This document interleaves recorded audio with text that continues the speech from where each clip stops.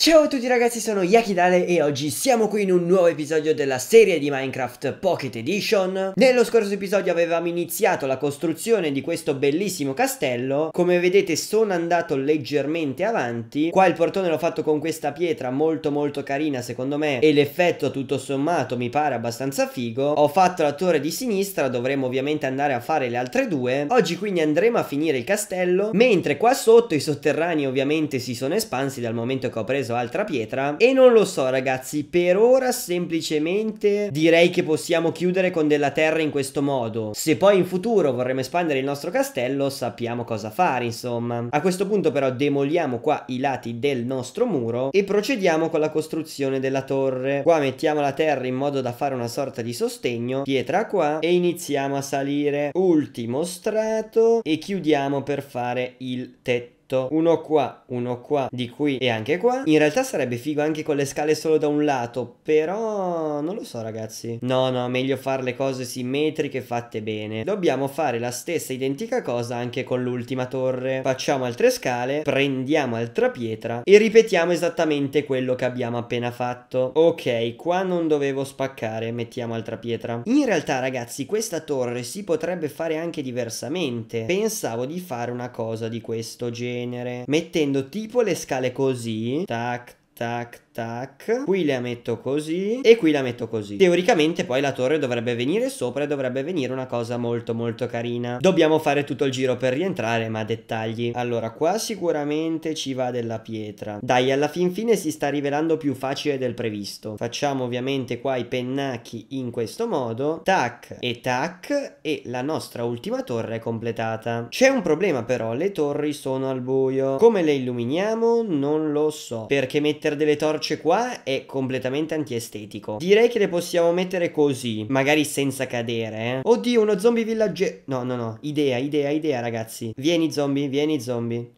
Allora, allora, dobbiamo intrappolarlo ragazzi Come facciamo? Così a caso Ok, sarà più difficile del previsto Calmo Yaki, recupera la vita Yaki Vediamo se riusciamo a intrappolarlo No, no, no, no, via Via, via, via, via, via, via, via, via. Ok, ok, abbiamo un piano, questo è l'importante. Noi saliamo qua, così, lui dovrebbe venire. Dai, vieni, zombie.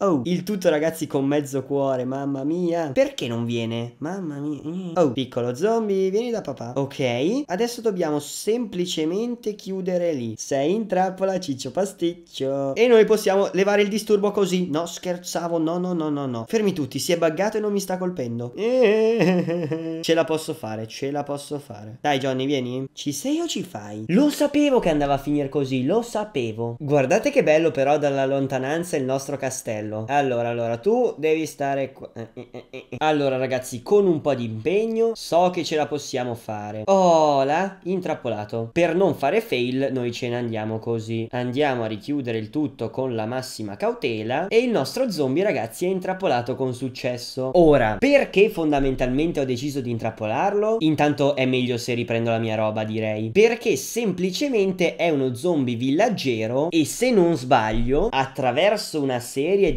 pozioni e cose varie, si riesce a trasformare in un villaggero normale. Quindi, visto che il villaggio che ho trovato è abbastanza lontano, ci basterà trovare un altro zombie villaggero, intrappolarlo e trasformare tutti questi due zombie villaggeri in villaggeri, dopodiché loro piano piano si riprodurranno e qui all'interno del castello potrà crearsi un nuovo villaggio in miniatura poiché si riprodurranno come tutti gli esseri viventi. Stavamo però parlando di illuminazione, quindi andiamo a mettere le torce sulle nostre torri torri. Credo che questa ragazzi sia la parte più noiosa di questo castello. Anzi, senza il credo ragazzi, perché continuo a cadere ragazzi. Ce la posso fare. E anche questa è fatta ragazzi. Guardate che belline le torri con tutte le torce sopra. Adesso dovrò aspettare la notte, dovrò cercare un altro zombie villaggero e intrappolarlo come questo qui. Ciao bellissimo. Togliamo qua tutto questo ambaradam. E cosa non da poco, devo anche cercare come cacchio si fa a trasformare questo coso orribile in un adorabile e affidabile villaggero, quindi ci vediamo tra pochissimo. Ok ragazzi, è passato un po' di tempo. Come vedete ho costruito delle casette qua all'interno per ospitare i nostri villaggeri. Ho fatto delle cose molto molto semplici con il poco legno che avevo, niente di che, devono essere solo delle piccole residenze, però comunque mi sembrano abbastanza carine. All'interno non è che ci sia sto granché. Dopodiché, cosa molto molto importante, ho messo le porte in ferro, perché per chi non lo sapesse i villaggeri sono in grado di aprire le porte, ma non le porte in ferro. E nel dubbio ho tolto le scalapioli perché non mi ricordavo se i villaggeri potessero scalarle o no. Quindi nel dubbio, meglio essere sicuri che rischiare di perdere villaggeri in giro. Per quanto riguarda più concretamente gli abitanti, il nostro amico zombie villager è ancora qua. Purtroppo non sono ancora riuscito a trovargli un compagno perché ho passato tre notti in giro e non ho trovato nessun altro zombie villager. Prima o poi ragazzi ne troveremo uno. Però intanto proviamo a trasformare questo qua. Allora, premetto che io sono scarsissimo in fatto di pozioni, quindi non arrestatemi per questo. Però ci servirà una pozione della debolezza da dare al nostro zombie e una mela d'oro da dare successivamente. La pozione della debolezza si fa nell'alambicco, che è questo qua, e bisogna riempirla con, con un occhio di ragno fermentato. Allora, allora, allora, facciamo il nostro occhio fermentato. Poi dobbiamo riempire la nostra bottiglia, che dovrebbe essere...